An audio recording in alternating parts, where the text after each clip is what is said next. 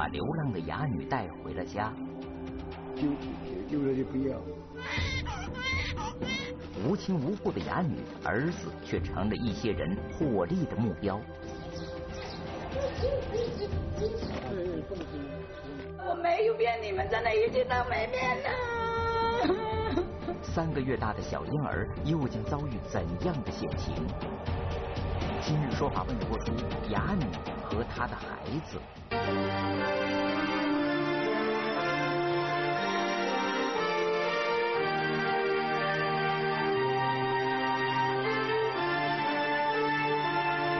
各位好，这里是今日说法。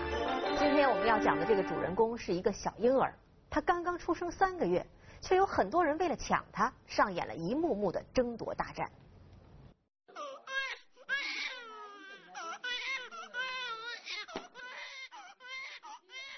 躺在婴儿床上的这个孩子叫清明，守在旁边的是清明的妈妈，因为不会说话，大家都叫她哑女。清明的出生很不寻常，他是在这个大院里的白色沙发上生下来的。关门搞灯放学了，我在里面呢，听着外面哭声。大人小孩都生存的，啊，其他的人没有，只有我在这里过生活。把它搭在那个小朋友的上面。孩子就这样毫无征兆的出生了。住在一个大院的邻居们都很高兴，还有一个人也很高兴。他就是孩子的养父老黎。老黎名叫李北胜，今年五十三岁，从农村来到江西省宜丰县打工已经很多年了。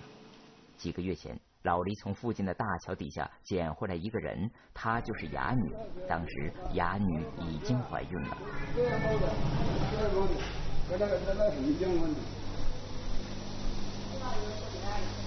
这样子。人在板车上嘛，就坐在板车上，什么样子啊？他好好高兴啊！我我我我抱他回回家的时候。那是二零一二年三月的一个夜晚，天还很冷。老黎和朋友打着手电筒到桥下找到了哑女。啊，我听见那个老太婆他们说，他那那个什么桥桥底下有个有一个那个什么一个女的，什么一个长皮人，他说呢怀了孕。老黎和朋友们都租住在这个大杂院里。听说桥下有个怀孕的流浪女，朋友们建议老黎去看一看。所以说，我就怕到底是不是那个老婆，不管是男孩女孩是吧？甚至是多少有个后人是吧？我就当时是这样考虑的。我说去看一下，就叫他们手电筒去看一下。我就看到外边，说可以，我说可以可以，我就带他回去。没有人知道哑女是从哪儿来的。以前一直有人看到一个年纪很大的老人拉着板车乞讨，车上就坐着哑女。很老很老的老头拖着他，反正就是下雨刮风，就是在这个，就在那个板车上面，好像是前后有六个轮胎。啊，你见过是吧？有那种有那种。推他的那个老头哪去了呢？那就不知道。推着他干什么呀？是在那路上乞讨还是？没乞讨，反正他走路很慢，就是过个红绿灯，有时候都要将近半个多小时，四十来分钟，大概是不是要这个样子？就在老黎找到哑女的十几天前，人们发现拉板车的老人不见了，只有哑女一个人，衣食没有着落。大家看到老黎生性善良，又无儿无女，都劝他把哑女带回家。你能听懂我说话吗？你是哪的人？家在哪儿？你是哪里人？啊？他不会讲话啊。哑女不光不会说话，智力也很低下，再加上腿上有残疾，只能扶着板凳走路。刚被老李捡回来的时候，她浑身又脏又臭。捡那个呢小孩，我就拿几个锅锅他捂着他家，没没吃饭子。捡回来没吃饭，他拿了几个鸡蛋拿给他吃。哎，天天去洗澡，我就拿个布拿拿点个卫生衣拿着给他穿。第二天就给他洗了个澡，然后拿一件羽绒服给他穿。哎，捡进那个时候好重呢，一身好重。捡进来的时候很大，这个妇女。好种一盆肥就好污啊，一盆水满装到好那个盆里面的水都很黑的。老黎的姐姐告诉记者，老黎身高一米八。年轻的时候也吸引过不少姑娘，可是他十九岁的时候得了脑膜炎，后来就一直没能娶上媳妇。老黎的姐姐也曾想过帮他找个身体有点残疾的女人做媳妇，可是家里的长辈们又不同意。找不到啊，我妈妈不同意啊。其实我这个放地主妹其不同意啊，就是把她真不活啊。那个好的找不到，那个没有人叫叫给我。当时老李拉着平板车把大着肚子的哑女带回了家。也遭到了兄弟姐妹们的强烈反对。我过去身体组没不同意吗？啊，你不让嗯，不知道了。呃，知道了，不不同意了。家里人都觉得老黎靠打工养活自己都很勉强，现在五十多岁了，再养活一个老婆孩子，恐怕心有余力不足。拗不过家里人的反对，老黎捡回哑女的第三天，又把哑女背到了民政局。我说不不要，我说我说丢丢丢了就不要。抱过来，抱到我们局里办公室，把把他把你来丢到我们。那个女的她也没有名字，也没有身份证，也没有户口。我们那个福利院都是那个本地都是要经过政府批准的。民政局了解情况后，初步判断哑女不是本地人，由于没有身份证，也无法安排住进福利院。民政局救助了哑女二百块钱，老黎又把哑女领了回来。那你为什么把她领回来呢？当时？可太可怜了，没办法了。回蛋了哟！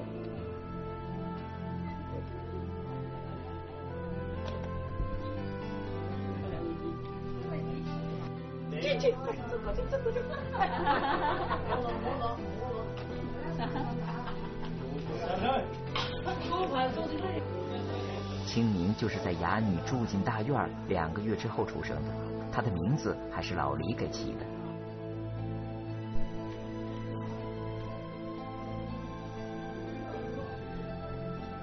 嗯，黎清明，我记得。啊，什么意思呢？清明头一天。清明头一天生的。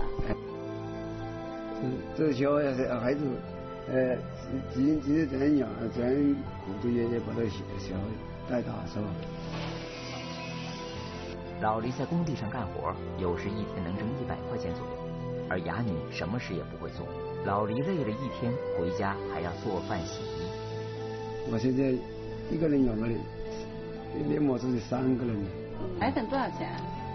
两百多块钱。呃，一桶。呀，压力好大。尽管这样，老黎还是心甘情愿的养活着哑女和她的孩子。看到老黎下了决心，亲戚们也就接受了哑女。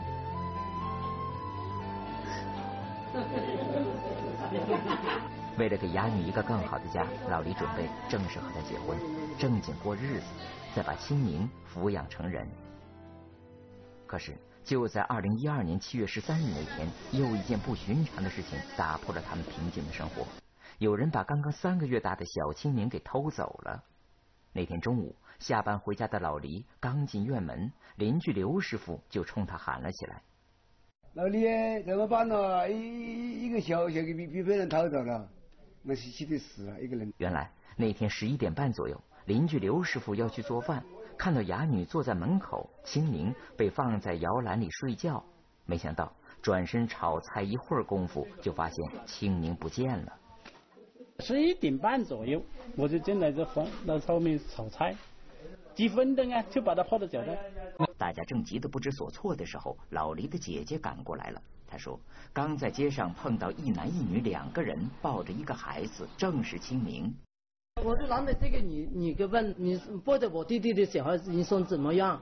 他说：“这是民政局的，呃，抱着小孩去剪头发、去发电呐，打避风针啊，我去外来呀，呃，碰好低保、碰好户口，这些民政局的人。”我就看着这个龙哥。有过过一代吗？过一代吗？就有一点点相信。老李姐姐说，和她说话的女人四十岁左右，几天前还在老黎家住的大院里出现过。而怀抱孩子的男人五十岁左右，有点谢顶，看起来像个干部。老李姐姐将信将疑的往前走了几步，就走了几步嘛，走了几步放到门前，放到门前就看嘛。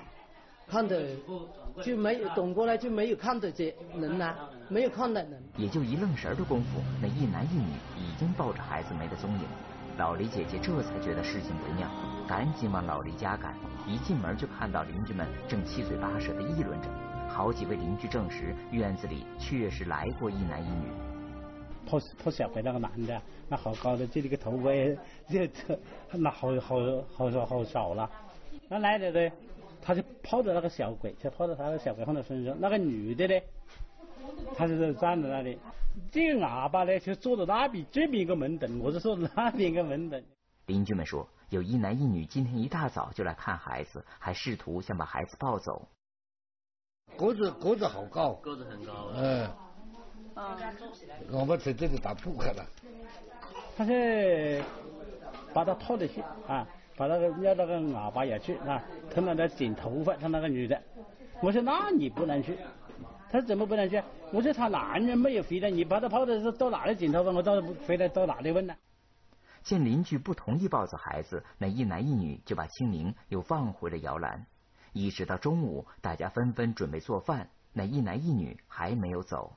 我就到屋里面，我就切辣椒，切了辣椒以后，我就出来，那小鸡啊，跟这个男的女的都不在了，我就跟他们转了，我小鸡小鸡冒得了，那咋不得了啊？老李仔细查看，发现放在床下的孩子出生证明也不见了。老李马上报了警。警察开着巡逻车，带着老黎在街上兜了好几圈，也没有见到抱走孩子的那一男一女。邻居们又帮忙到民政局查问，抱着一线希望，看是不是真的有工作人员去过他们大院。总共就是五个人，五个女的，你们全部可以看到。民政局有五位女性工作人员，都不是抱走孩子的那个女人。基本上就认定了这是一起。有预谋的，呃，盗走小孩进行拐卖的案子。因为李某自己讲，前两三天呢，呃，有一个中年妇女来看过他的小孩。几天前来看过孩子的女人，就是抱走孩子的那个四十岁左右的女人。大院里的邻居们都见过她。因为来了三天了，好大的太阳呢，那个高温的时候啊，那个好热的时候啊，在那个中午又来了。那下午园子又来了。那个女人每次来都在清明和哑女身边转悠。当时只有几个邻居随口问过那个女人几句，但是谁都没有警惕过。我就问他，我说你是他的亲戚吧？他也不吱声。我又问，我说你是他的亲戚吧？他又不吱声。他提三次，我说你是他的亲戚吗？是，他就说这样是。证明我们就没有什么怀疑，亲戚就没有什么怀疑了哈。这回邻居们凑在一起一分析，才发现那个女人的话全是谎话。她要真是哑女的亲戚，怎么会不告诉老黎呢？大家后悔没早觉悟，竟让人大白天当着孩子妈妈的面抱走了孩子。估计邻居带小孩不放心吗？不得安宁了，你像这个哑巴个小孩，你要跟他这么抢的时候，你要其他个人呢，你把街上看的也不随，蹦一晃的车上就跑掉了，是不是？到底抱走孩子的两个嫌疑人是什么人呢？他们会把孩子带到哪儿呢？警方让大家好好回忆一下，有没有什么线索？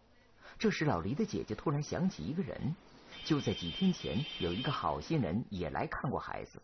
现在想想，那个好心人身上也有疑点。我抱着这个小孩，他要抱着这个小孩。我洗，我跟这个小孩洗澡了，接下来跟这个小孩洗澡。听我讲，就是话说，话这个小孩，这个宝宝好可怜呢。那是一个三十岁左右的女人，她来后热心的帮忙照顾孩子，还带着一个十几岁的小女孩，并且送来了一大包旧衣服和一个奶瓶。他就给小朋友穿的，还有那个他妈妈穿的，那个小孩的妈妈。就是这个瓶子。有包装吗？没有包装。那个奶瓶上写的字吗？太子糯奶粉，买太子糯奶粉的。当时十几岁的小女孩对好心的女人叫妈妈，还告诉老黎的姐姐，这个奶瓶是妈妈推销奶粉的赠品。我就就问这个贼女儿，你妈妈做什么的？这个这个女人就是说。妈妈卖做奶粉的呢，做奶粉的，是这吧？卖给他牌子奶粉。嗯。老李姐姐怀疑那个好心人的原因时，就在好心人来过两天之后，那个十几岁的小女孩又来了。这一次，小女孩却是跟着偷走孩子的女人来的，而且看到两天前送给清明的小奶瓶，小女孩还多说了两句，让老黎的姐姐印象深刻。这女是吧？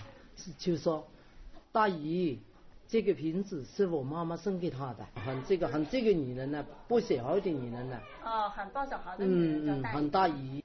一个奶瓶暴露出嫌疑人的行踪，孩子被送到了谁的手中？他们为何会落得鸡飞蛋打？孩子能否回家？哑女和她的孩子，今日说法继续播出。今日说法正在播出。警方通过小女孩的话分析，好心人和抱走孩子的女人应该有亲戚关系，而且那个好心人应该是个卖奶粉的。找到好心人，偷走孩子的女人就应该能找到。警方决定从这个奶瓶寻找突破口。为此，警方到县城卖奶粉的几家超市做了调查。这哪里会有这个奶瓶？这个奶瓶是太子的奶粉那个正品。你看，太子太子乐系列奶粉这上面都有，因为它正品上面它厂家标了这个有字在上面有标记的。卖这种牌子奶粉并赠送奶瓶的超市在县城只有一家。推销员也只有一个，警察找到了这个女人。有什么事跟他说的？哎，你好。这个推销员叫熊立芳，他承认自己带衣服和奶瓶去看过哑女和孩子。他说，他是在街上听大妈们说老黎收留了一个流浪女，还生了一个孩子，出于同情，就带着自己的女儿去探望了。我就是看他可怜，我就是，我就是去看着他嘛。嗯。看着我看到他，我说没有水喝，我就拿。我就送了一个奶瓶给他们。但是熊立芳说，他家的亲戚很多。至于后来女儿又和谁去过大院，他并不知情。他的女儿现在还去了外地。我不知道。我们判断这个女的肯定跟这个案子可能有一定的关联，我们就把这个女的的家庭关系啊，包括兄弟姊妹，还有这个小姑子这一类的人员呢，把她信息资料全部调出来，调出来让那个李某还有那个。他那个邻左邻右舍啊去辩论。警方根据户籍信息，将熊立芳所有的女性亲戚的照片打印出来，给大院里的邻居们。没有那个报小孩的那名，看有没有？报小孩的就是这个的。哦，就这个吧，三号吧。嗯。看一下是哪个？这还有一个呢，我我这个呢。呃，就这个三号吧哈。就这个。是这个哈，是是是，这好像女士穿这个，他是没有做头发，就是好像剪的那个剪剪了一点头发，哦，没有扎头发，就没有做头发，没扎头发，剪的那个短头发有点黄色的，有点黄色的，剪头发，是，这个脸型像呢？是。眼睛长长的，啊，眼睛红红的，嗯，尖尖的，嗯，不是王就这个女的吧？啊，是，嗯嗯。邻居们很快就都指认一个人，她是熊立芳的姐姐，叫熊庆芳。十年前远嫁到了外地，但是近几天却在宜丰县探亲。听说二零一二年七月十五日那天，熊家有亲戚正巧办喜酒，警方决定到那里去找她。我们敲个门以后进去，当时他就警觉了。他就用用用用用我们说的那个一种扇子遮那个脸，他也不说。我们问他叫什么名字，他说叫王艳，他自称叫王艳。但我们通过那个照片一比对，应该就是他。自称叫王艳的女人其实就是熊庆芳。开始她不承认有抱走孩子的事，直到看到老黎和他姐姐，知道事情无法隐瞒，她就马上哭闹起来，说自己所做的一切都是为了救孩子。做好人，做好人，好人做成这个样，真的是。该说的我都说了，我没有骗你们，真的，一句都没骗的。熊庆芳说自己是听了街上一些老人们的闲言，才注意清明这个孩子的。这些老太婆、这些阿姨讲的，小孩子实在可怜啊，整天晚上一天到晚都哭，好多好多个晚上都是睡地板上面，实在可怜，真的是可怜的，这一条命都会拖死掉。熊庆芳的话让老黎和邻居们很是生气。大家都证实，老黎一直对哑女和孩子很好，还特意给孩子买了婴儿床和许多玩具。而熊庆芳又说，他抱走孩子其实是受一个朋友委托，自己没有得到任何好处。我绝对没用到他一分钱，我可以说。这个小孩，嗯，你拿到钱了吗？我没拿一分钱，我一分钱都没拿到。但是警方后来调查，熊庆芳偷孩子之前一共收到八千块钱，给他钱的就是那天跟他一起去大院的那个男人，叫仲晓东。你是你为什么说你是民政局的？他说你去，嗯，你去把小孩子抱出来，嗯。然后他说抱出来你呃就说去打预防针了，他教我的了。熊庆芳说，当时他们两人抱走孩子，就在街上碰到了老黎的姐姐，慌不择路，仲晓东抱着孩子打车离开了，究竟去了什么地方，他也不清楚。警方觉得事不宜迟，决定马上追回孩子。仲晓东的家在江苏扬中市。对，找到他是肯定是最好。警察找到了仲晓东所住的村子。啊，他说他城里有个房子，自己做自己做的一种，就在派出所上的。因为不晓得那个人也不知道他讲的真还是假，没来过，没来过。哎，对他不敢带着他过来。在村口正巧碰上了仲晓东，将他抓获。江西的宜丰县公安局刑警大队。嗯。宜丰知道吧？知道吧？去过吧？知道。去过吧？知道。哎，你自己想一想，什么事情？钟晓东五十八岁，是仪表推销员。一见到江西的警察，他马上明白是为了孩子被偷的事情。他为自己辩解说，这次偷走孩子都是熊庆芳教唆的。那我又不知道他是偷来，我要知道偷来的，我竟然也不做这个事。我杀到我头也不低，我要看到这女的，我真的要一刀砍死她，害人。钟晓东说自己的一个朋友想收养孩子。二零一二年七月，熊庆芳告诉钟晓东，老黎家有个男孩，长得白净又健康，他专程从江苏赶到江西去抱孩子。到了老黎家，他才知道老黎家并不同意抱走孩子。这这个一切责任不不怪我，我可以我可以跟你讲，他叫我不要管，我怎么办？小孩子抱在你手上，你赶紧走，你你又叫你你要不要走？虽然仲晓东极力为自己开脱，但是邻居们都证实，仲晓东和熊庆芳一起在大院里待了很长时间，最后趁邻居不在，偷偷抱走了孩子，并且仲晓东抱走孩子之后，又辗转到江苏镇江的火车站，收取了朋友两万六千元钱，把孩子交了出去。仲晓东说，他的朋友就住在扬中市一个村子里，孩子被送走之后，情况怎么样呢？警察决定马上带着仲晓东去找买孩子的人家。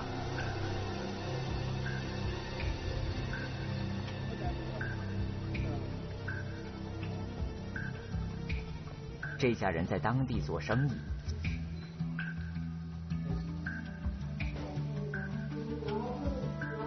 警察一进门就看到青明正在和男人。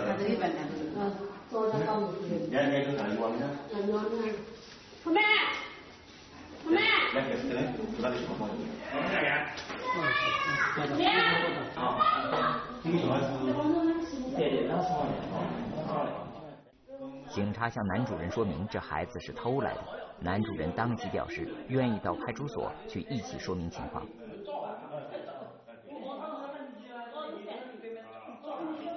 小李子啊，你你你我可大的不接。好了好了，行，好了好了，我讲的是好了好了，不要干。好了好了，你你呢？小李子。哎，对对对对对啊，这个这个对啊。江西什么？你过来了？江西的啊，这个，你看，你看，他们好，自己想，好吧？说清了情况，一位当地派出所的女警接过了孩子。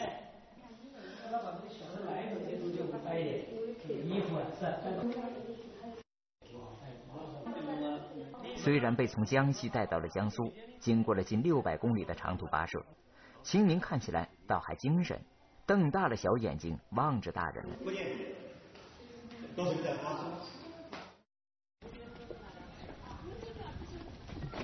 看到女警要把孩子抱走，刚刚和孩子生活了三天的女主人一时接受不了，哭了起来。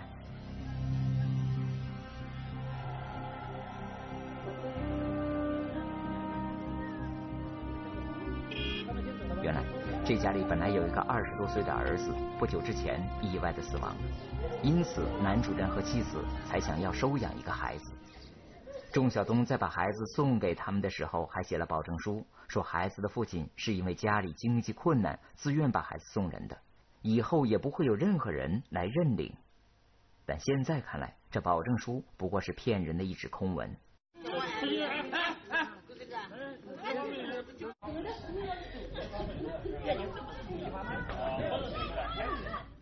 抱着孩子，一峰警察马上踏上了回城。刑警大队副大队长刘勇负责抱孩子。平时因为工作忙，他在家很少抱自己的孩子。这一路上，他抱着小清明，始终小心翼翼。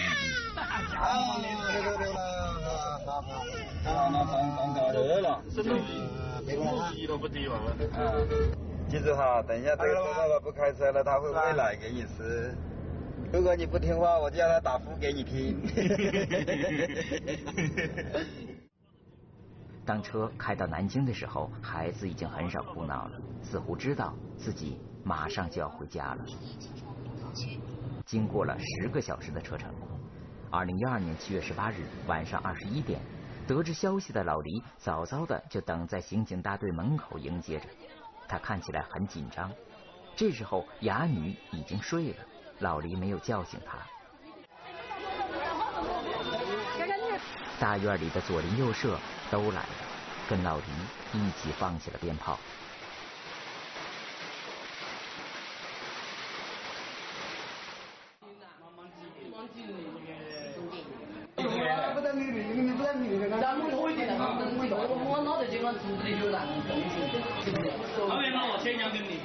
孩子安然无恙，又回到了妈妈和他养父的身边。